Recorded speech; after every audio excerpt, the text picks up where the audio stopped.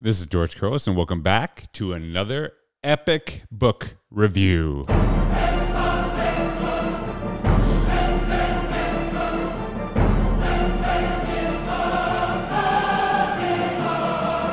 Hey, welcome back, everybody. I am really excited to actually do this epic book review. And as I said before, they're really book reviews. They're just me talking about books I really like. I'm trying to filter through some books, get to know them, and and share ones I think could actually have a really great impact on an individual level and sometimes on a school level and sometimes both. And this book that I'm going to share today, I think does a really great job of doing that. And before I get into the book, really committed to it this year, I would love for you um, to actually hit subscribe if you're watching this on YouTube. And if you're not watching on this YouTube, go over to YouTube. Please hit subscribe. And if you can give this this video, that'd be awesome. Really helps me to grow the channel. And I'm going to actually ask you a question that is really based on some of the learning that I took away from the book. And it's really thinking about this question How do you implement rest into your everyday routine as an educator? And that question is something I didn't think I would ask before. And I'll tell you why as I get in the book. And so the book I'm reviewing today is one actually I read, and I actually didn't read it, which is weird. I listened to it on Audible. It is actually called Peak Performance, Elevate Your Game, Avoid Burnout, and Thrive with a New Science of Success by Brad Stulberg and Steve Magness. I started listening to this book on on Audible, and what's weird is I used to listen to I used to listen to Audible uh, on planes when I would be working, and I found it was useless to me. And the reason I'd say that is because I was working, so I would actually try to be on my email, multitasking, and trying to figure out try to listen to a book just to keep me distracted. But if I'm distracted, I'm not really listening to the book. So it just didn't seem like to be a really good workflow for me, and it didn't really help. And actually, fascinatingly enough, it talks about in this book how hard it is to actually multitask and just giving your attention to something very specific in the moment is shown to actually increase success. And I'm comfortable with multitasking at some points, but I think you have to think about like low level thinking when we're doing multitasking versus I'm trying to absorb ideas from a book while answering emails and and thinking about different ideas to share with people. And so as I was listening to this book, I've been running, I've been trying to improve my running, and I felt really mentally worn out. So I started listening to some books on Audible because when I'm running and listening to Audible, the only thing I'm trying to do when I'm running is put my one foot in front of the other and not fall down. So I'm not really thinking about it. And I actually really enjoy listening to books on Audible, sometimes listen to podcasts, and it distracts me from some of the pain I'd be going through or some of the doubt that kind of creeps into my head. And sometimes it inspires me. And I was listening to a lot of political podcasts and I felt, oh, this is exhausting me. I don't want to add this to my run. I tried some sports podcasts and I still listen to those and I find they're really helpful. But I wanted to try some Audible. I listened to a couple books. And this all happened when I, I, was reading, I was taking what I call a little sabbatical. So basically, my busiest time of the year is January till December. December is very slow for the work that I do, consulting and speaking to groups in education. And I try to force myself to take a sabbatical, stay offline, not really create stuff, and just kind of take a break. And the break has led to some really great things that rest. But I always try to really make sure that I get my fitness in tune, my health in check, getting some good routines and not be the person that waits till January 1st to start something new, but actually build momentum into the new year where I'm already hitting the ground running. And eh, when I lost weight, I didn't lose it when I started January 1st. I created habits before. And so I was getting running, but I felt during this break, I was so exhausted. And I just, I felt the rest wasn't actually helping to me. And part of the reason was I wasn't really resting. I was really pushing my body. I was really just increasing my miles and running, working out a ton of time.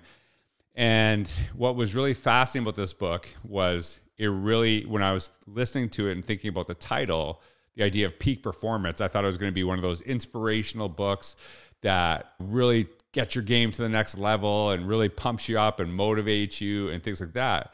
But it wasn't really that type of book, which kind of threw me off. It was a book that talked about some of those things, and I'll get to that in a second. But it really focused on the notion of rest. And it wasn't the only theme, but it was a major theme. You can see it coming up over and over again. And I am someone who tends to just go, just tend to go push. And as I was listening to this, I was thinking a lot of the struggles I'm having right now is because I'm not letting my body recover. I'm not letting my mind recover. And I decided I was going to start trying some of these things. So what's weird is I actually started implementing some of the ideas while I was listening to the book. And I started to actually do a, a different half marathon training. And you're thinking, you're talking about rest, but you're doing half marathon training. But the thing is, with half marathon training, you have to implement rest days in very specific ways so your legs can recover and do different things on different days. And what I found was I was actually taking more time off of running. I was running fewer miles, but when I was doing my long runs, I actually started getting faster because of the rest, because I felt more fresh and I could push a little bit harder. And so that really helped me. And why I really, and I'll tell you right away, I, I really recommend this book. I really enjoy it. If you are a teacher, if you're an educator, I think this is a great book, and I think it would be a great book for conversations. It's made me think about some stuff I want to write and think about how I can utilize this to help education. And I would say that the last time I read a book that really made me rethink my practices and change my direction, that I can really think it's not that I don't get great ideas from books, but has made me go in a different direction. That's what that's where I'd say about this book. The last time I read a book like that, I would think it was Dan Pink's Drive, which made me really rethink assessments, awards in schools, and it shifted a lot of my thinking. And so this book surprised me in how they talked about rest. So I really recommend it. Now, I'm going to tell you a little bit about the book, and I actually at, asked ChatGPT to do a summary, and I took it, modified it, but I'm just going to read it to you so you have an idea of, of what the book is about. And so this is what it shared with a little bit of my editing. Peak Performance by Brad Stulberg and Steve Magness is a book for anyone looking to improve their performance in any field. The authors, both highly respected coaches, share their wealth of knowledge and experience in this book. The book breaks down the science of performance and explains in a way that is easy to understand. Topics such as training, recovery, and mental preparation are covered in depth. Stulberg and Magness provide practical tips, tips and strategies that can be applied to any type of performance, not just athletics. They delve into the mental and emotional side of things, which is often overlooked in performance improvement books. They talk about how to handle pressure, how to set goals, and how to stay motivated. The authors emphasize the importance of finding the right balance in all aspects of performance, from physical to mental to emotional. The book is not just for elite performers, it's for anyone looking to improve, whether you're a beginner or an experienced pro. Stulberg and Magness also talk about the importance of recovery, both physical and mental, and how it plays a crucial role in achieving peak performance. The authors also explore the impact of sleep, stress, and nutrition on performance and how to optimize them for best results. Peak Performance is a comprehensive guide that covers every aspect of performance improvement, from physical to the mental and emotional. It's a must read for anyone looking to take their performance to the next level. And when you hear that, and as I'm reading that, what someone might defer or infer from the description is that this is something for athletes or not necessarily for someone working in any particular field. But I found the exact opposite. I found that, yeah, it helped with my fitness goals, some of the exercise things that I'm trying to achieve. But I really started thinking about like, how is this affecting my writing? How is this affecting not only how I am when I'm doing my work, but how I am when I'm with my family, which is weird. Like, I started thinking about that and how can I utilize these things? And when you often think about the notion of rest, we often only talk about it in context of when we're taking breaks, right? So prior to January, that little winter break that we get around Christmas time, it, it, what happens is a lot of people focus on breaks then, but then it's right back to just grinding it out until you can just make it to that next break. And that's why I asked the question how do you implement rest into your everyday? And maybe it's not your everyday, but maybe it's into your weekly your weekly routine. So that's what really stuck out to me. It doesn't matter what you're doing, whether it's you're trying to improve your health, you're trying to get better at your job, and maybe even helping our, stu- I shouldn't say maybe, for sure helping our students to improve. Because think about the aspect of a typical high school and this practice still goes on in way too many high schools. You have students who go from class five minute break and when we say break who are we kidding? And it's like going from class to class and it's just information overload and then we wonder why so many struggle but can we implement breaks in meaningful ways?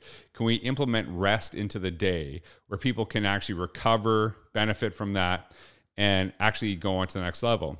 One thing I've been doing as a someone who speaks and leads professional development, I have I have explicitly worked with groups and said you have to build in a certain amount of time into the day where people can reflect and connect so that they can just have time to just chill out relax, take a walk, not rush to grab a drink, grab a, something to eat, and then go to the bathroom as quick as possible and get to the next session.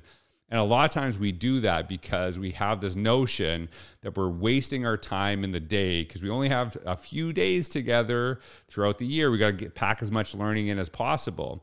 But if you don't actually absorb any of the learning because you are just pushing yourself to the point of exhaustion, none of it's going to actually stick. So, it, whether you're in education, whether you think about this from your own perspective, how you can implement the students, that's why I really appreciated the book.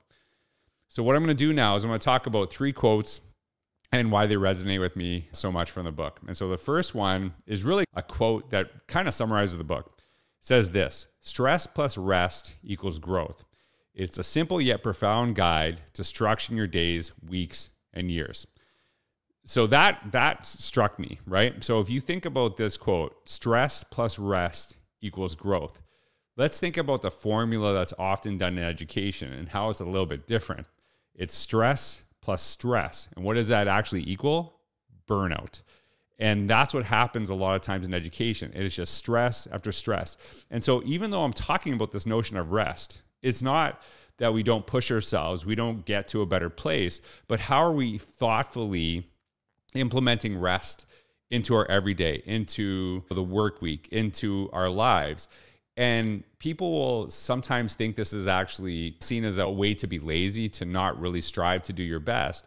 But I was actually looking at rest to improve performance, not to lessen it. And I think that's a misconception a lot of people have is that, especially in a culture where it's all about hustle and just continuous, we don't actually see this as something that improves ourselves. But that's what really struck me about the book.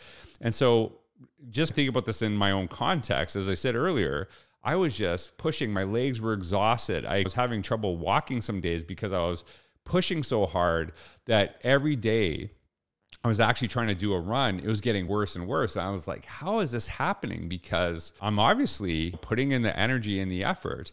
And then think about that in the terms of education. Do we do the same thing? Do we continuously run our legs, for lack of a better term, to the point where it's hard for them to even function? And then we wonder why we're struggling so much.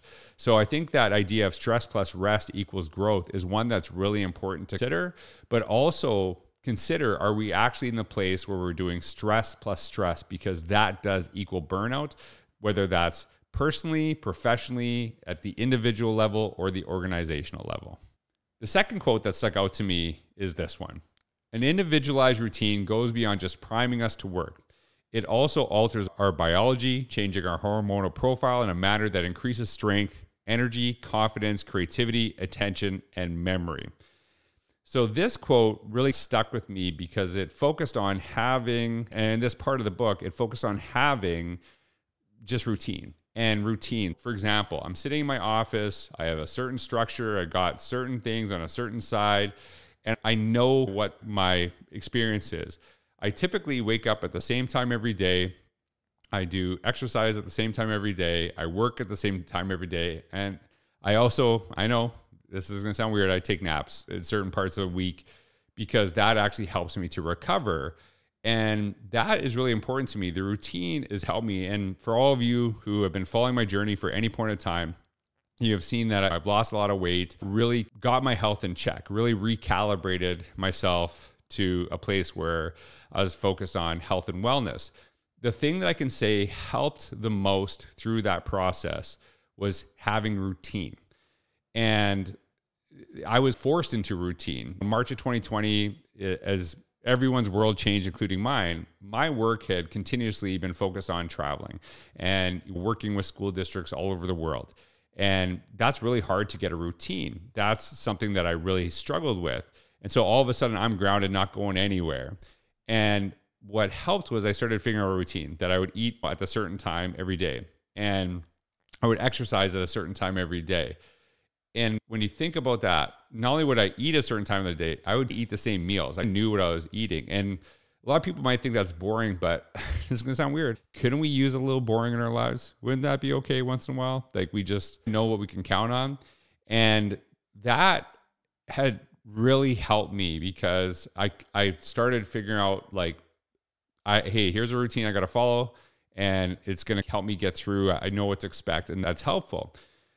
Think about in the terms of the classroom. When you go into a classroom, are we continuously changing the decorations or change what's on the walls, how the classroom looks? Are we actually messing up a kid's routine or is there like consistency where you know what to expect? Think about when we do our staff time. We're always thinking about the time that we're doing icebreakers and it's got to be different every single time would there be a benefit? I'm asking, honestly asking the question, would there be a benefit of just saying, hey, we're going to always spend the first 10 minutes of our staff time just talking to each other? No icebreaker activity. Just come in here. We're going to relax and chill, and we're going to have some consistency. It's a question I'm legitimately asking, and I think it's really one um, we should all consider. And now that I'm back on the road speaking, a pretty busy schedule, one of the things that I've struggled with and I'm trying to find is how do I build routine in an environment where routine is not there. And little things I do, and people used to make fun of me for this, but it makes sense. A lot of times I'll have to be on the road and I'll have to answer email or have to do some work, and I don't have access to my office. And what I do is I look for a Starbucks and the reason I look, and they're like, why don't you try this coffee shop? Why don't you try this? Why don't you get some variety and things like that? And part of the reason that I actually look for that Starbucks is because I know what it's going to look like. I have a good feeling of kind of the setup. I know what coffee I can get.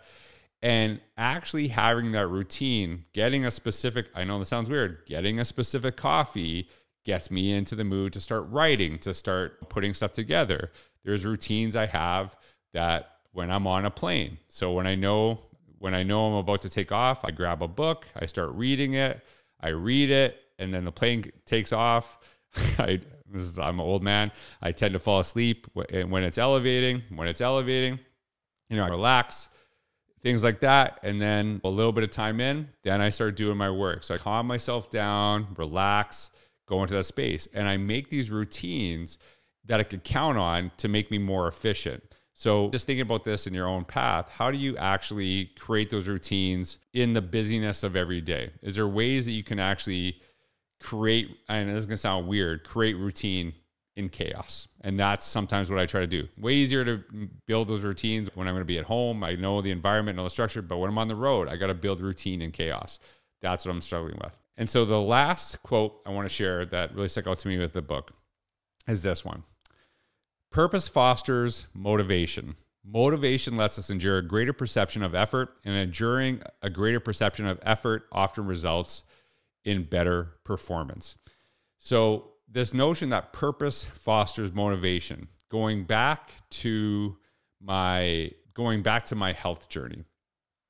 One of the things that I had in my head for years and years and wasn't helping was hey, I want to get back into better shape because I just want to fit back into the clothes that I could wear that are still hanging in my closet and they're like my aspirational clothes. And one day I'm going to fit back into them. And that was what I felt was my drive, but it wasn't really pulling it toward me. What had happened is that, and going back to COVID, is that there was a lot of indications that the some of the most harmful aspects of COVID were happening if you were struggling with obesity, which I was.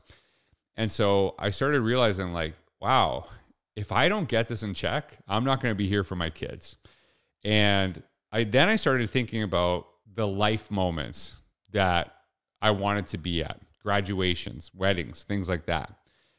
And I wanted to be there.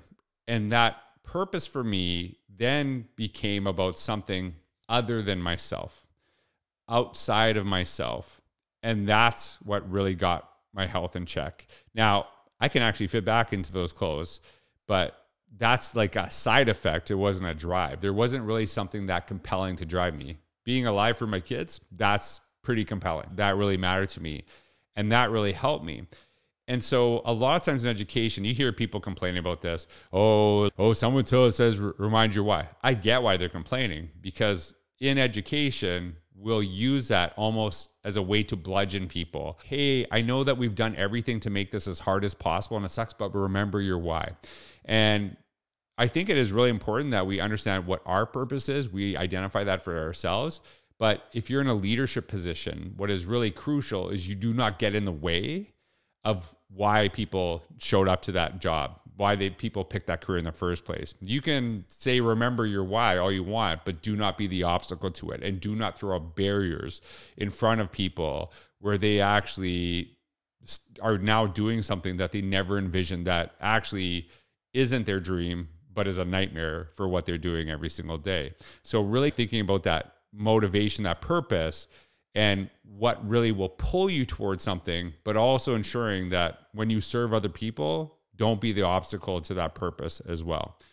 And so the last quote that stuck out to me is this one The single greatest skill in any endeavor is doing the work, not doing the work that is easy for you, not doing the work that makes you look good, not doing the work when you feel inspired, just doing the work. And as much as I actually talk about the importance of rest, there is also the importance of stress. They are connected to one another. And it reminds me when I read this, or when I listened to it, otherwise, even though I have ordered the book as well, it reminds me of this quote. And I don't know who to attribute this to, it's been attributed to tons of people that it takes years and years of hard work to become an overnight success. Often, when we celebrate people, we celebrate them when they're at a certain point, but we don't recognize the behind the scenes. And a lot of the times, a lot of times, what I've been trying to do in my work is to share the learning, not the product, but the process. When I talk, and I know I talk a lot about my health and wellness, and if you don't think those are con- eh, health and wellness is connected to learning, then you're maybe missing a point. There is a connection to those elements and how important it is. Learning about yourself is something that will really help you to learn about others as well and to better serve others as well. And I had shared my journey nonstop. And a lot of people have started following me, started connecting with me in different social media spaces, and they see one thing, but they don't see all the things that I struggle with and the effort. And even talking about this, how this December, I was actually taking a break and feeling more exhausted during the break until I started thinking, okay, I am pushing myself to the point of burnout and I'm going to actually start the year more exhausted than when I ended it because I'm not thinking about rest. So the reason I'm even talking about this book, the reason I do these epic book reviews is to so that you can see the behind the scenes of what got to this podcast, what gets to the thinking. And a lot of people say to me, you know whether they want to start instagram blogging things like that i don't want no, i don't want to be coming off as bragging and i'm like yeah i get that and if you say i'm the best teacher ever and all of you suck that's probably bragging, right? Or if uh, I remember one time somebody was like, "Oh, let's go for like a 10 mile run." I could barely run, and it was almost like they were they knew I couldn't do it, and they were trying to put me in my place, and that really bothered me. They didn't understand where I was, and one thing I always say is, how do we help move people from their point A to their point B? How do we get people to understand where they are, but where they can go at that moment and building confidence and competence along the way? And so, what I say to them is don't think about it as bragging, just share your learning openly, right? So, when I share stuff that I'm doing for my health and wellness, I don't say you should be doing this. This is what you should do. I just say, hey, this is stuff I tried. And this has really helped me. This has helped me find success. If you can modify it, take it, adapt it. There's things that I do, obviously, as someone who travels and speaks and consults, is very different than someone who's in a classroom every single day. Yeah, you're not going to be able to take what I said and do everything I say because we probably do totally different things. And that's okay. But are there things from my learning that you could take and say, okay, this doesn't work here, but I can twist it, reiterate it, and make it work like this for me? Is there things from my learning that you could take and implement your own and vice versa. So don't think about it as bragging and don't do that.